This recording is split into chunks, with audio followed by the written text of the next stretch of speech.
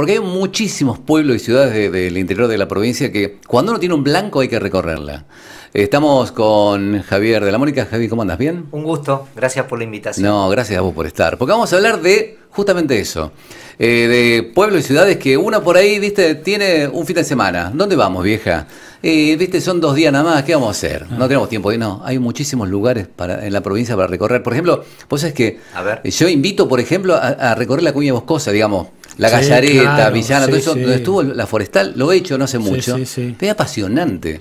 Aparte de hablar con la gente y te cuente, la gente que ya grande del lugar sí. te diga, acá estaba esto, acá. Es fascinante. De hablar cuando me voy para el, el norte, me voy para eh, el norte, el sur me voy a Malincue, por Claro. ejemplo, esa zona. Bueno, yo he ido, he General ido muchas veces a pescar a, Puerto Piracú, Pira, Bueno, ahí, están los dos puntos. Él habló de los pueblos forestales.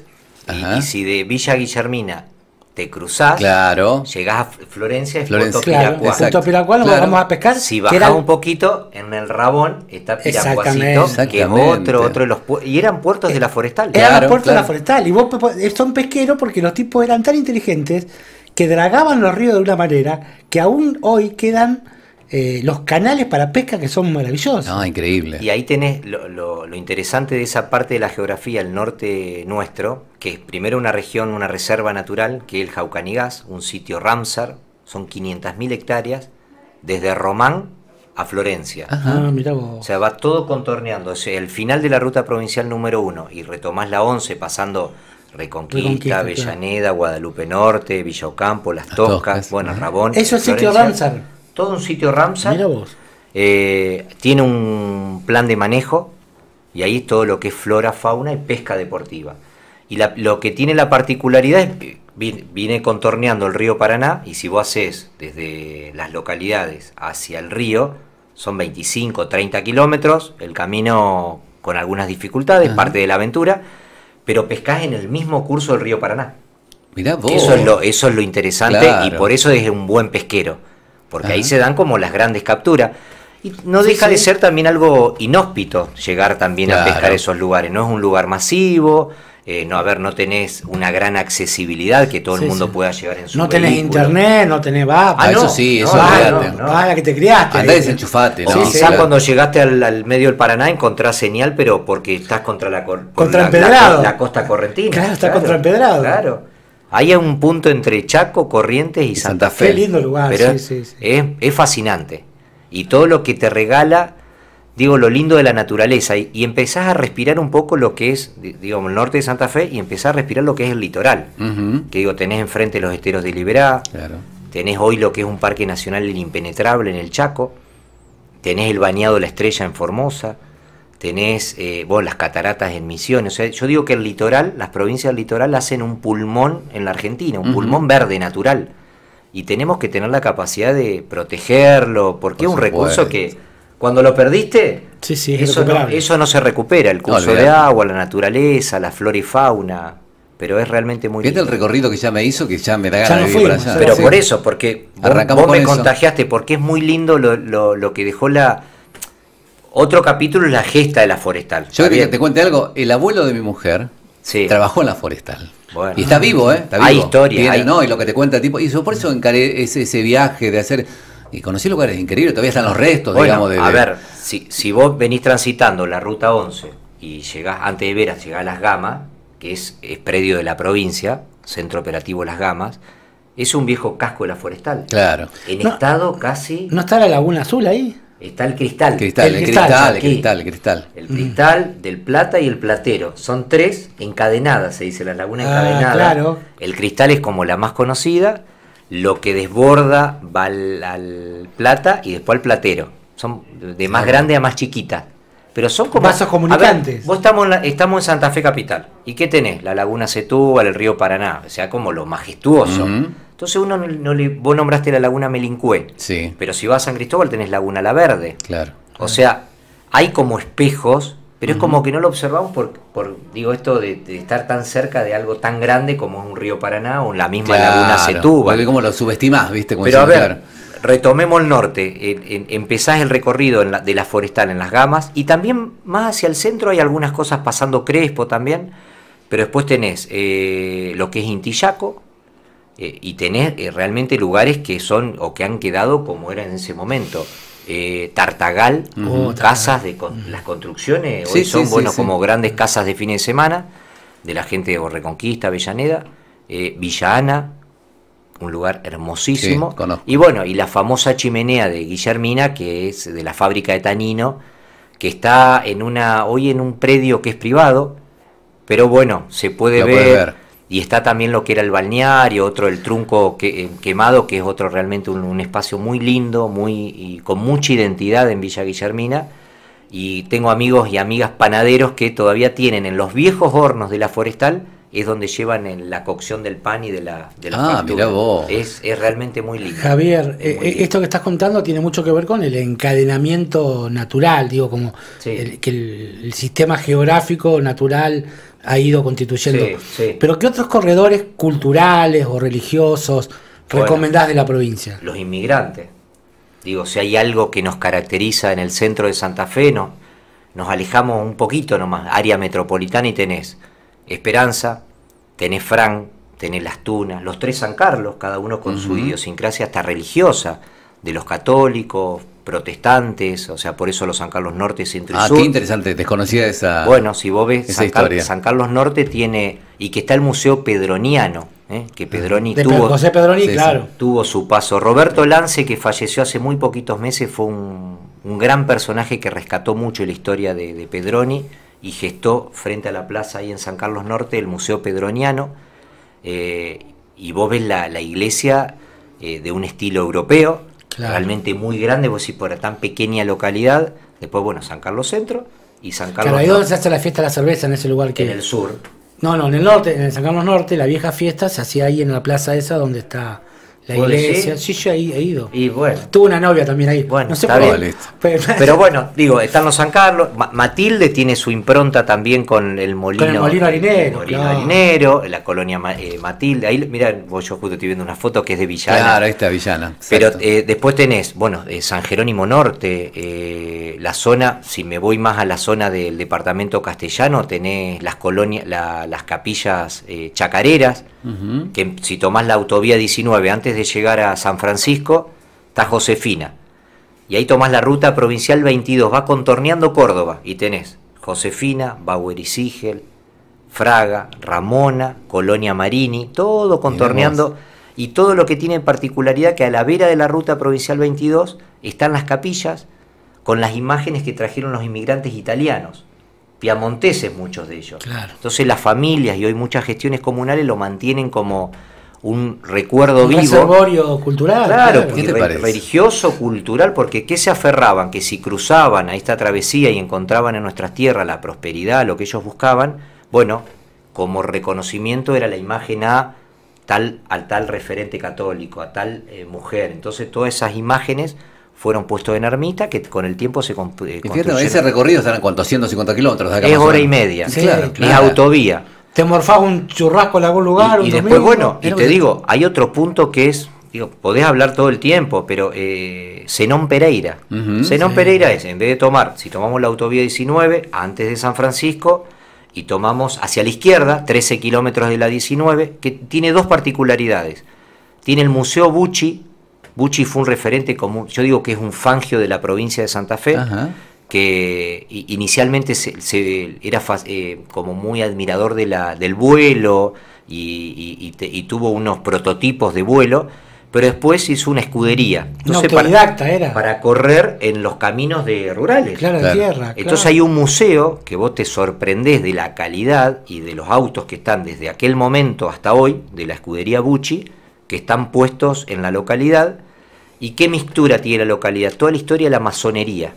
Entonces Ah. vos ves en la construcción y todo autodidacta, o sea, vos podés recorrer la localidad y tenés la cartelería de la escuela, de lo que era el primer hospital, de las casas de familia, y es un estilo realmente sorprendente y el estado de conservación es muy lindo.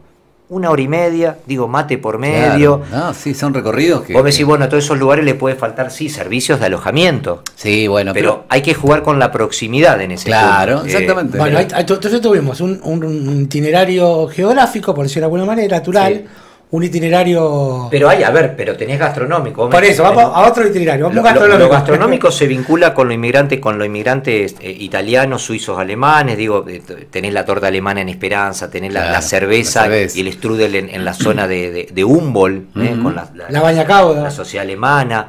Después ya nos vamos a Humberto Primo, Humberto. ya pasamos Rafael, nos vamos a Humberto Primo, y pegadito a Humberto Primo tenés Moisés Villa, está la vinculación a la colectividad judía. Hablamos con Moisés Villa el, Sí, el- Bueno, la semana pasada. ¿cuál sí. es la cadena de Moisés Villa? Otra, digo, un trabajo muy interesante de colonias judías. Palacios, pasando Sunchal está Estación Palacio. Ujú. Palacio sobre la Ruta Nacional 34, la 34 nace en Rosario, el, el último, la última ciudad de la provincia es Ceres y después ya pasaba a Santiago del Estero. Claro, selva. La bandera. Claro, No, selva, selva, selva. Donde tenés, Palacio fue la estación de ferrocarril donde llegaron los inmigrantes judíos. Y después, como estuvieron, hay toda una historia, pero cuando llegaron a ese lugar no tenían las tierras que le habían prometido, que era de Pedro Palacio, lo- el propietario de todas las tierras. Entonces empezaron algunos y conformaron eh, Monigote, conformaron Mm. Las Palmeras, conformaron Moisés Ville, conformaron Montefiore y Ceres todo, toda una línea de ferrocarril de la Ruta 34, pero el primer asentamiento oficial es Moisés Villa, que es la primer colonia judía organizada de la Argentina. Moisés Villa de, de San Cristóbal también, de San Es Cristóbal. departamento San Cristóbal. también. y hay una particularidad de Santa Fe con Entre Ríos en este punto, porque tenés las colonias judías de Entre Ríos. Claro. Con Hablamos dos- de Villa Domínguez, Sájarov. Bueno, Villa Domínguez era la París argentina. Exactamente. con sí, la sí. Plaza Central y sus cinco avenidas. Y después tenés Sájarov, tenés Villa Clara. Clara era la esposa del barón Hitch, Balón Hitch. que fue el, el- el que financió el- claro, el benefactor. de comprar terrenos Mirá para vos. que escapen de la persecución en Polonia, en Ucrania, en Rusia.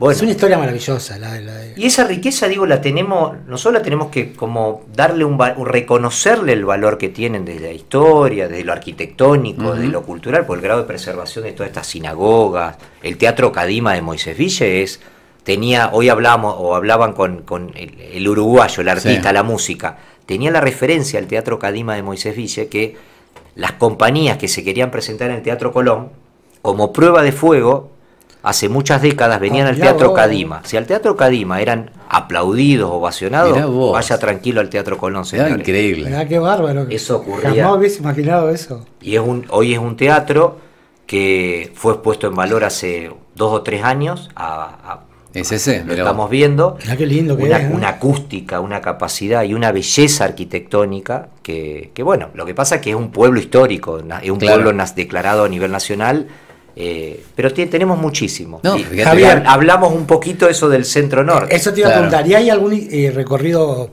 cultural vinculado a las expresiones artísticas, literatura? Nombrabas a Pedroni, ahora la música.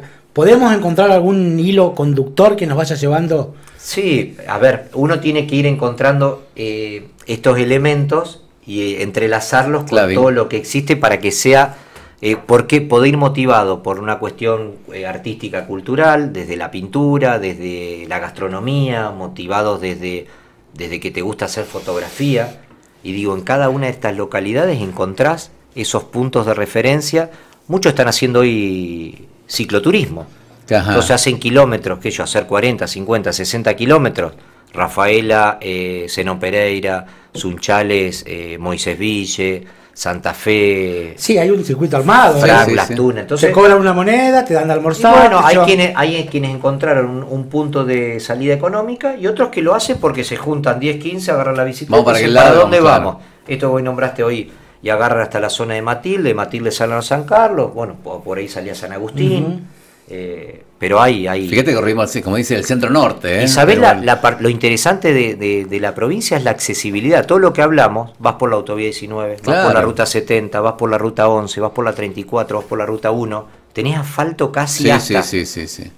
Y después las palma, la laguna Los Palmares, esa está un Ajá. poco más aventura. ¿A dónde es eso, Javier? Eso tenés entre San Justo, decimos San Justo y San Cristóbal. En el, Mm. en el medio, como un pulmón, entre el centro norte, tenés todo un cadenamiento de lagunas que viene bajando del- de, de los bajos, desde el norte, y termina en todo lo que es un sistema de palmares. Eso te iba a preguntar, Muy, mirá. Yo- muy lindo. yo que te La- la tenía-. ¿Sabes por qué? Porque vos mirás, hay, un, hay una traza, una línea imaginaria que viene desde Colón, Entre Ríos, Sí. Villaguay, Sí, salta a la zona de Román sí. y después va hacia más, más porque toda Yo- una zona bueno, de palmeras. Yo, siendo por la 11 en Berna, por ejemplo. Bueno, vos- y vos ya seguís el norte y ya pasás a Chaco y también la- eh, el Jaucanigás, toda esta región que hablábamos del norte de Santa Fe hacia la costa, la particularidad que tiene son las palmeras. Entonces son Yatay, la verdad que Sí, ahí no- sí, y sí, bueno, y si cruzás a corriente, cuando pasás, yo a la altura de pasás esquina, entre esquina, Goya, Bellavista, todo también un, un- un sistema de, de palmares muy, muy interesante. Qué Y lindo. están que en conservación, ¿por qué? Porque ahí como se hace mucho, mucho ganadería, o sea, no, no, lo, No lo arbustivo no Claro. afecta, al Claro. contrario, por ahí también le da un poco de sombra, protege cuando hay lluvia para que también se arme algún humedal y bueno, favorece que sería agricultura, ah, le pasamos máquina a todo y listo. Sí, dale, por supuesto. Dale, dale que va. Vos fíjate que, que, nada, empezamos a charlar y te- se- armamos un montón de, de circuitos turísticos. Y que, que están presentes. Pero sí, aparte a mano, como hay decía, que, a mano como de que darle el formato de, de servicio, de, de conocerlo, porque algunos se largan a la aventura, pero tú decís, bueno, ¿para dónde arranco? Eh, pero en esto, por eso, la accesibilidad te da la autovía 19, Santa Fe-San Francisco, de un lado y para el otro tenés la posibilidad de... Che, Javier, y, y para el sur qué tenemos? Bueno, para el sur tenés eh, todo lo que es el entorno, yo digo también histórico, eh, en, en el, en el área metropolitana de Rosario tenés San Lorenzo. Ujú. Vos pensás en San Lorenzo tenés el Campo de la Gloria, que es el espacio donde San Martín libró su única batalla en suelo argentino, Sí. el Campo de la Gloria. ¿A dónde está el Campo de la Gloria? Termina sobre la barranca del río Paraná. Vos estás en San Lorenzo, sobre el Campo de la Gloria, y ves Rosario Claro. Ah, se termina ya al final una curva fascinante. Y te alejás y tenés, eh, donde inicia la ruta 34, tenés Colonia Medici, ligada a, la- a inmigrantes suizos, y ahí también hay un predio que hace ollas, tiene tambo, tiene una, una quesería y hace todo un predio de eventos y hace turismo rural. Eh, más, hacia el, más hacia el sur tenés Casilda, Firmat, Claro. Melincue, Venado Tuerto. La historia del grito del Corta, Claro. Corta. Bien, fíjate. ¿En Salodino no está la casa de Saer también en? También, claro, también, ahí hablando de lo, cultural. Javier, hablábamos con la productora antes de, de que llegara sobre el, el turismo rural.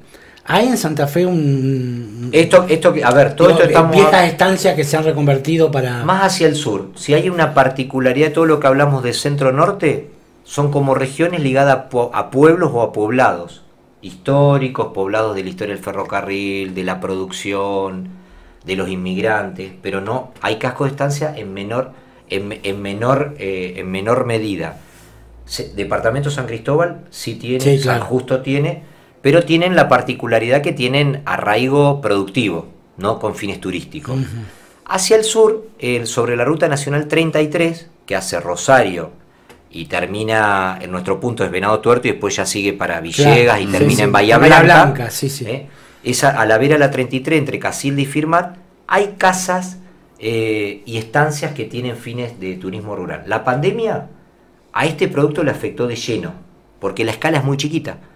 Claro. Entonces no era lo mismo, digo, está bien, vos tenés, vos decís, "Oye, tengo un hotel, cierro un hotel con 500 habitaciones, lo mato. Claro. Pero cuando lo abrí y lo tenés completo, el, nivel, el volumen de movilización económica es también en igual magnitud Claro. que lo que tuviste parado. Exacto. Ahora, cuando vos tenías una estancia que tenés que mantener un predio con 6 hectáreas, con forestación, Sí, sí, con citrus, con. y estas estancias que tienen un siglo y que se te viene el techo, que esto, que las tejas, que, que la pared, esto es de adobe, y bueno, y mantener eso a mucha plata para que el retorno sea a dos o tres habitaciones, es complicado. Hay un lindo circuito, lo hice la semana pasada acá, muy pegadito, que es eh, a caballo, Ajá. desde Cululú, Ajá. claro. antes de Progreso, Sí, sí. Claro. ¿Viste el contorno del río Salado? Sí, sí, sí. Bueno, de ahí salís a caballo. Ululú, un paraje productivo. sí, sí, sí. Tiene una zona de una estancia que hace noche. Y después lo, eh, lo que empezás haciendo el recorrido por el Salado, lo terminás en el arroyo Cululú. ¿Qué? Y pasás por una vieja pulpería que te hacen las veces de refresco y comida. Pero es pintoresco a caballo, una bien rural acá a 35 minutos de Santa Fe. ¿Te puedo comprometer a que vuelvas uno de estos días? Sí, A ver, por te- hago la última pregunta, si me permite. Sí. Sí, obvio, obvio, obvio. Eh, Hay provincias que han, que han eh, incursionado en, en nuevos itinerarios, nuevos recorridos a partir de lo productivo. Por ejemplo, en Entre Ríos la recuperación de los viñedos generó Claro. un, Y, muchis- y- y en base a qué? Al- hoy hablaron con eh, el Alejandro, el uruguayo, Sí. en base a la, a la- a la cepa, el Tanat. Claro, el Tanat, el Tanat. es la, es la re- la y- referencia efe- uruguaya. efectivamente, y el Malbec que se ha recuperado también, Ah. bueno, hubo alguna inversión. Pero por ejemplo, otras provincias han tenido la nuez Pecam. Sí. eh, hay como un- un- una necesidad de ir generando nuevos circuitos a partir de nuevas eh, producciones productivas. Yerba ¿no? mate, Misiones. Corrientes, la ruta del té, y acá En la Santa parte Fe, productiva en Santa lechera. Fe hay algo que está generando. el, el pulmón fuerte es Rafaela, Sunchale, Ataliba, Sarmiento, Progreso. ¿Y qué vínculos hay? Quesos y salames de la colonia, decimos que de base a, a, a la receta de los inmigrantes italianos. Claro. Tenemos cerca de 125 pymes lácteas, dulce de leche Sí, y queso. claro. Al- Y, y seis de las industrias lácteas más trascendentes también están en nuestro territorio. O sea que Tengo una amiga que es la fuerte, la parte lechera, productiva, con el tambero activo a las 6 de la mañana. eh, La pyme, el camión de leche, yendo a industrias, produciendo valor agregado con todos esos productos. sí, sí, sí. En Ramona, que tiene un museo también que es de la lechería y que tiene una de las pymes también muy, muy locales de arraigo, están trabajando todo ese Ah, circuito que vincula todo esto que hablamos. Tengo una amiga que nació en Ataliba que era muy bonita, es muy bonita y fue reina del chorizo en grasa. Se hace Bueno, en enero, eso pasa. fiesta- ¿Eh? es fiesta nacional. Claro, fiesta nacional. nacional. No, no, me quedo, me quedo con ganas de mucho más. Che, Javier, eh, ¿te comprometemos para que vuelvas? Cuando ¿Sí? quieran. Dale. Y también para que otros amigos, digo, porque lo lindo de esto es armado una red y hay referentes que Ajá. con la misma pasión, digo, uno puede contar de algo porque lo conoces, porque lo viviste y porque vas conociendo gente que tiene eh, ese mismo espíritu de querer que vengan a la localidad, Claro, los conozcan y transmitirle exacto. todo lo que ellos tienen para mostrarte. Eh, pero tenemos muchísimo. Me encantó el recorrido que hiciste, Javi. Bueno, ¿eh? un gusto, Muchas- gracias por No, por favor.